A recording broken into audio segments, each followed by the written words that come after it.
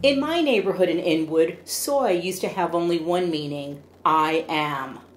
On the west side of Broadway and in some corners of the east, with migration and eating habits changing, soy has taken on a more ominous meaning. One can purchase almost a full spectrum of soy food products, including pet food, in the C-Town and Fine Fare supermarkets on Broadway.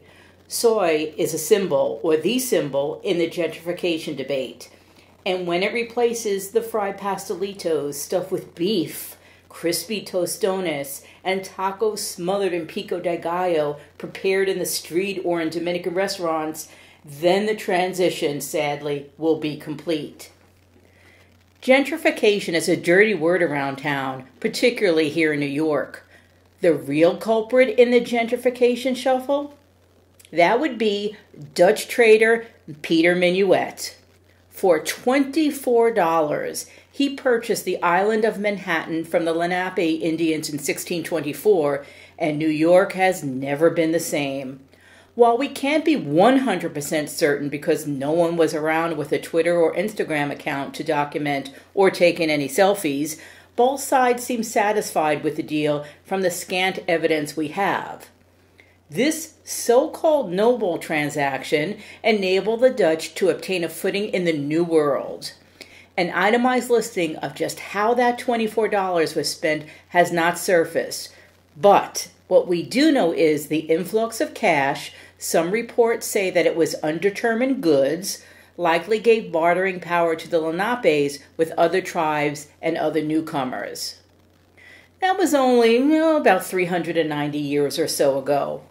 For history buffs, Henry Hudson sailed down his river 15 years earlier in 1609, but he didn't buy anything substantial. Trader Joe's wasn't around then. And Staten Island was purchased for the same price by Peter Minuit. $24 in today's dollars is less than a taxi ride to Staten Island from Upper Manhattan and the price of two cheeseburgers, a pair of french fries, and a couple of shakes at Shake Shack. I wonder what Peter M. would say if he were reincarnated and looked around us. Methinks he would look around in shock and awe and wonder at our vertical city and the cement that has grown under our feet. Taxi!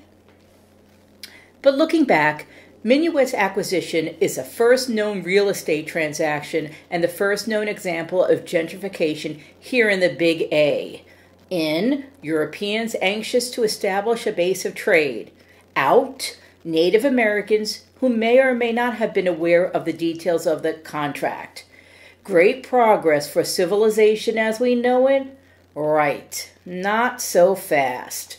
If the situation was reversed and the, the Lenapes bought the island from the Dutch, we would hear the moaning across the centuries Der Gott, der Bert. There goes the neighborhood. We hear it now. When transplanted whites take over a neighborhood, particularly youngish ones with money, they push the existing culture and neighbors out.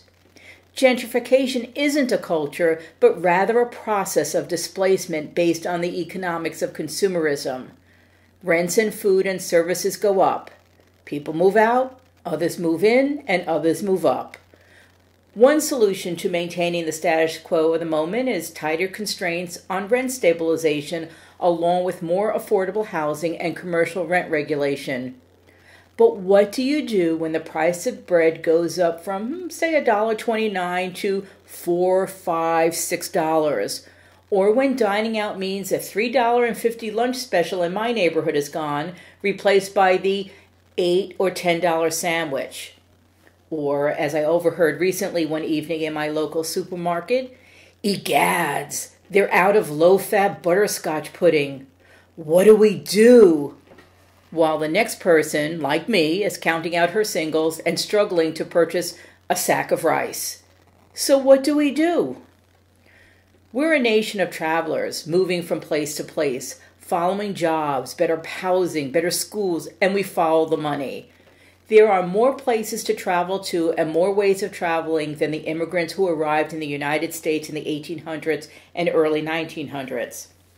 And at the same time, immigration patterns have changed.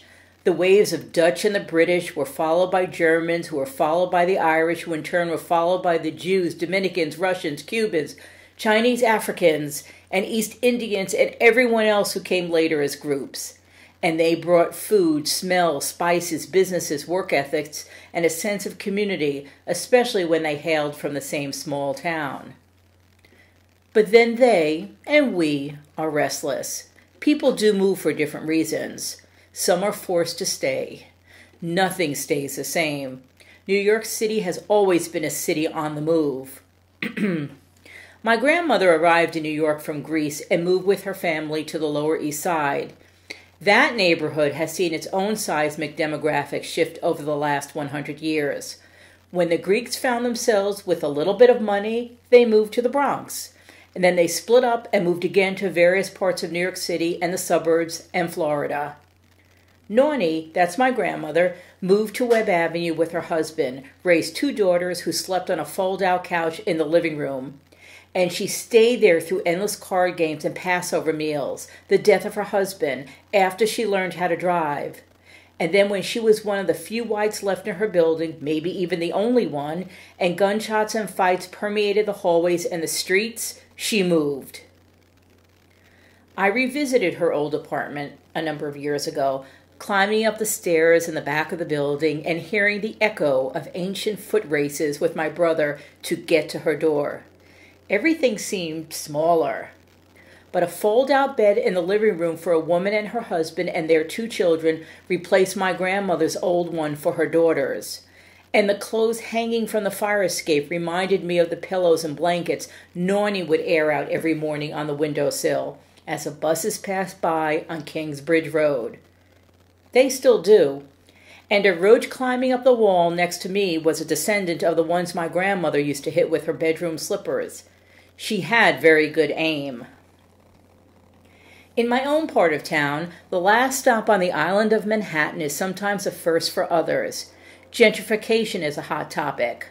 Most of it is based on fear the fear of not being able to afford living in upstate Manhattan or other parts of the city because of rent increases and co op and condo conversions, higher prices for groceries in supermarkets, higher prices for services such as dry cleaners, restaurants that are cost prohibitive to so many, the loss of a power base from the predominant ethnic group, in this case the Dominicans, the loss of the Spanish language, or neighbors, or unfamiliarity, and perhaps surprise at the transformation of the in- infrastructure from smaller stores to chain stores, the fear of the unknown. What is to become of the neighborhood, and what is to become of us? The conversation about who is being pushed out is often focused on the Dominicans and other Hispanics and African Americans being pushed out, but swirled into the mix of those who face the uncertainty are also the whites singles, couples, older people, and those with children who are also being pushed out or feel the threats of being pushed out. They, we, are all in the same boats that's moving away from shore faster than we know it. And then this group, our group, will disperse and repopulate another area. The Bronx seems to be a possibility in the line of succession, and there we are on the move again. The perception has more than a racial tinge. Dyckman Street has been refashioned from a dingy, quiet, empty street of somewhat and then not so somewhat drug deals and drag racing.